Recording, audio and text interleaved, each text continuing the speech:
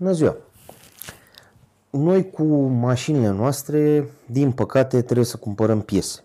Uh, când cumpărăm piese, știți că am mai discutat noi, avem mai multe opțiuni. Sunt uh, piese de buget, de obicei mărci proprii ale importatorilor de piese, uh, care sunt destul de ieftine, dar nu știu exact ce e cu ele.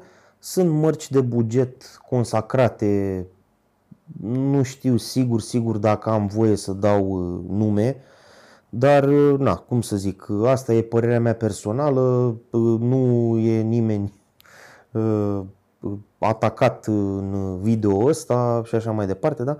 Deci să zic, branduri proprii ale importatorilor, QVP, Starline, Württemberg, nu mai știu cum le mai zice la alte, LKQ, AIK, chestii din ăștia. Da? Uh, care de obicei nu produc nimic, sunt doar ambalatori, poți să găsești într-o uh, cutie de bobină Starline, poți să găsești uh, Era, Mobiletron, diverse bobine da? și diverse piese.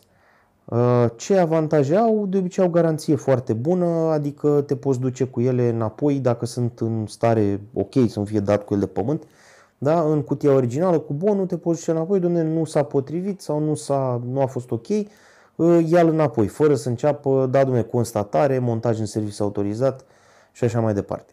Um, după aia sunt brandurile mai ieftine, da, tip Era, Mobiletron, eu vă dau, vă dau exemple pe bobine acum, că dacă o luăm pe bobine, să mergem pe bobine, da, Hertembus, Jacoparts, Triscan, ăștia sunt mai de buget așa, um, care, na, eu am avut rezultate mulțumitoare și cu Era și cu Mobiletron. Am dat kicks recent cu o punte de diode sau regulator de tensiune, cred că era, dintr-un alternator făcut de Era, pe care, na, dacă îl măsuram înainte cu multimetru, știam că nu e bun, dar, na, de dacă n-am știut, n-am fost atent, asta e știm pentru data viitoare. Uh, mai sunt uh, brandurile premium, da? Huko Hitachi, Bosch, uh, Beru, NGK, Delphi și așa mai departe. E, despre brandurile ăștia premium aș vrea să discutăm, mai ales despre ele.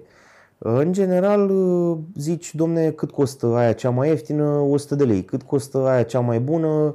400 de lei. Oho, domne, dacă e de 4 ori mai scumpă, sigur e mai bună, nu?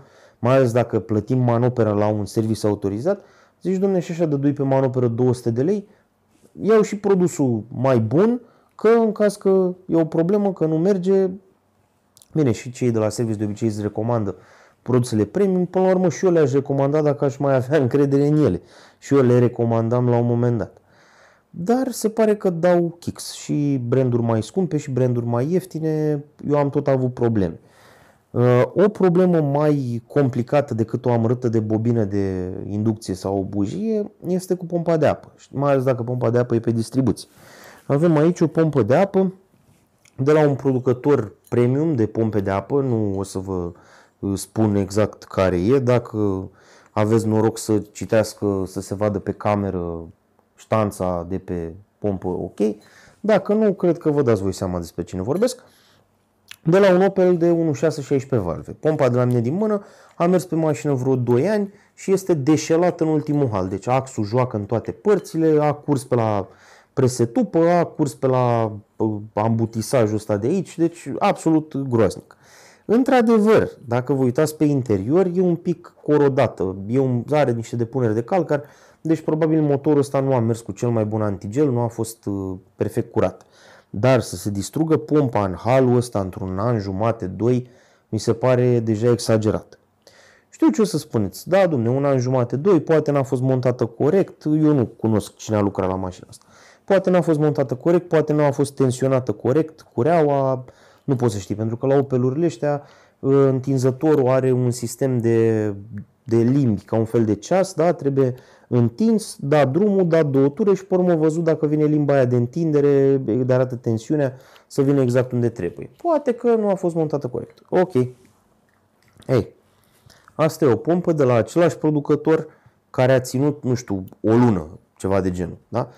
Partea de rulment e ok, da? deci pompa merge bine, nu e nicio problemă, dar a început să curgă. Deci după nici o lună ea a început să curgă pe la, pe la presetupă. Într-adevăr, aceste pompe au o gaură specializată. În engleză se numește whip hole, gaură prin care să plângă pompa. Ceva genul ăsta. Uh, pompa funcționează cu un fel de lager lubrifiat cu antigel și pierde foarte, foarte încet, tip o picătură la o lună, da? Pierde antigel pe acolo ca să lubrifieze uh, semeringul de pe ax.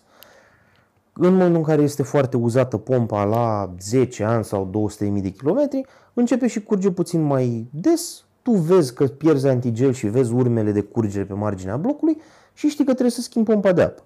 Asta s-a întâmplat după o lună. Ei, vă dați seama că era posibil să-i arunce cureaua, să-i, să-i lovească în supape, să-i să rămână omul pe undeva cu mașina, chiar dacă nu stigă motorul, dar rămâi cu mașina imobilizată, nu e ok. Așa că, uite, problemă. Da? Bineînțeles că nu a fost montat în serviciu autorizat, nu a avut omul ce să facă și a cumpărat o pompă de la un producător mai ieftin și a montat-o pe aia și acum vedem aia cât o mai țin. Acum eu am avut uh, tot felul de de ăștia neplăcute, de situații neplăcute. Dacă țineți minte situația cu filtrul de motorină de la Coleos, pe care am prezentat-o pe canal, uh, nici până în ziua de astăzi, bineînțeles că nu mi-a recuperat banii, mi s-a spus, domne, n-a fost montat în serviciu autorizat, nu, nu ai niciun fel de garanție. Corect, nu am garanție în ideea că dacă s-ar fi stricat, dar ăsta nu a fost produs corect, adică nu am, nu e, asta era vorba de garanție din de conformitate sau nu știu cum să zic, adică nu a, nu a fost conform cu uh, dimensiunile țevilor pe care l-am montat. Adică dacă îl montau un serviciu autorizat, sudau material în plus pe țevi ca să se poată să etanșeze oringurile acolo, adică nu, mă rog, dacă nu mai știți uh, situația, căutați pe canal, la un Renault Coleus cu un filtru de motorină am avut eu probleme, la motorul de 2.0 de Renault, adică putea să fie pe orice mașină, nu trebuia să fie neapărat pe Coleus. Um, au mai fost probleme cu bobine de inducție de Opel. Am pus uh, bobinele ca la SAP, da? deci sunt pe mijlocul motorului o bobină întreagă pentru toate pistoanele care vine montate direct pe bujii. Uh, am cumpărat, nu eu personal, că eu nu cumpăr din alea, dar a cumpărat omul producătorul OEM, deci pe, pe bobina de fabrică a mașinii scria uh, GM, Opel GM ce scria, da? plus producătorul, omul și-a cumpărat același lucru pe care scria doar producătorul. Ori n-au mers de la început, ori au picat în o săptămână, două, trei, o lună, 5-6 luni. Deci mi se pare și sunt și scumpe. Deci mi se pare exagerat să se strice o piesă după ce o montezi în 3 luni, 6 luni, mai ales că cumperi una de la un producător premium. Da? Uh, am mai avut probleme cu bujii, fișe și bobine de la un producător din 3 litere Uh, bine, e posibil să fi fost și contrafăcute, nu știu ce să zic, că toată lumea caută numai din alea. Vezi, asta e problema și la uleiuri și la piese, că dacă iei uh, pe cele lăudate da, și de producători de top, e posibil să fie contrafăcute, pentru că nu stă nimeni să contrafacă pe mai ieftine sau de branduri obscure de care nu, pe care nu le caută lumea. Da? Ca să ceva se preteze la a fi contrafăcut, trebuie să aibă și un preț destul de mare, să fie și căutat, să, să se și ruleze până la urmă. Că ți nu-ți convine să faci ceva contrafăcut, să, ții, să vinzi la ele ani de zile. Trebuie ceva repede, le-ai luat, le-ai vândut, ai luat banii și ai plecat. Până când apucă lumea să vadă că se strică sau că nu țin. Da? A mai fost probleme cu niște buc și niște suporți de motor, de cutie și de bălea așa de la un producător consacrat. Când uh, auzi de un uh, de legătură cu solul, toată lumea pune, bă, delea, sunt niște cutii albastre, știți voi despre ce vorbesc, și am mai avut probleme cu ele. Într-adevăr, nu cu toate, nu, nu știu ce să zic. Ele par ok când le iei așa și le vezi cum sunt construite și pompa asta de apă. Până la urmă, e bine făcută, adică nu are defecte din uh, turnare sau chestii din ăștia. Dar uite că nu, nu au ținut. Și am auzit pe mai multă lume, adică nu, nu numai eu am avut problemele. Am mai auzit și eu pe la prieteni mecanici, pe la prieteni cu piese auto, că sunt în ce în ce mai multe probleme cu piesele, mai ales cu cele premium. Acum, eu nu vreau să fiu conspiraționist, dar poate că are treabă și cu montat un serviciu autorizat. Pentru că dacă tu uh, te duci cu mașina într-un serviciu autorizat rar uh, și zici, doamne, mi s-a stricat uh, bobina, da? Ok, omul zice, domnule, nu spui tu că ți-a stricat bobina, noi facem constatare, vedem noi că ți-a stricat bobina, îți putem oferi o bobină cu 500 de lei și manopera te costă 150 de lei, să zic. Caz în care tu ai garanție, ai absolut tot ce trebuie, da? Dacă ție îți pică bobina aia în 3 luni, atunci trebuie să te duci înapoi la serviciul ăla cu bobina aia, da? cum ajungi până acolo, nu știu că dacă se strică de nu mai pornește mașina, ce faci? E platforma, platforma cine o plătește? Să plătești iar constatare, mă gândesc că na, trebuie să vadă oamenii despre ce e vorba, și după aia să aștepți până trimite bobina aia la constatări, la înapoi, la aia. Ce faci între timp? Pui tot bobina veche dacă n-ai aruncat-o sau te duci și una din dezmembrări sau cumperi una și după aia rămâi cu două dacă îți dau aia alta, adică tot e o, tot e o situație neplăcută. Mm, în general știu că se așteaptă să avem la sfârșit o concluzie și o soluție, dar eu din păcate nu am. Uh, nu știu ce să zic, cum e la mine de eu îmi lucrez singur la mașină, pe mine nu mă deranjează așa de tare manopera, decât să zic la ceva complicat, de trebuie să dai bordul jos, să pui un radiator și după aia să-l, să închizi totul la loc. Știți că am mai avut eu probleme recent și cu radiatoarele, că nu s-au potrivit, au venit cu oringurile rupte, arse, stricate. Nici nu știi dacă e vorba de un defect de fabricație sau un lot nasol sau niște rebuturi vândute ca bune sau ceva care a mai fost desfăcut și nu s-au înlocuit oringurile alea. Nici n-am băgat de seamă dacă erau desfăcute cutiile sau desigilate. Pentru că de multe ori mi s-a întâmplat și mie să desfac ceva, să văd că nu se potrivește, să-l dau înapoi. Atâta timp cât ăia nu mi-au refuzat mie returul, nici eu nu pot să refuz când primesc o piesă care a fost înainte desfăcută. Da, mă uit la ea bine, o verific, o încerc să o probez înainte, dar asta e situația. Uneori nu ai, nu ai noroc cu, cu treburile astea.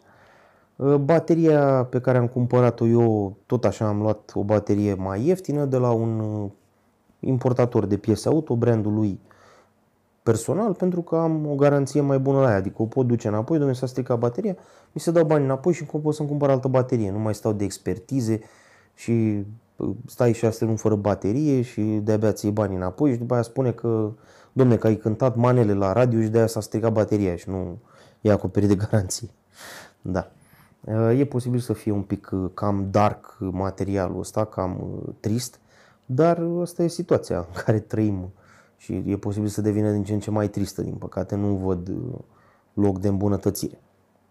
Uh, eu mă duc uh, mai pe seară, că asta fac, ziua stau în casă la aer condiționat și filmez clipuri din ăștia sau scriu scenarii pentru clipuri viitoare. Marile scenarii arată ceva de genul așa, adică o foaie cu două, trei idei pe ea.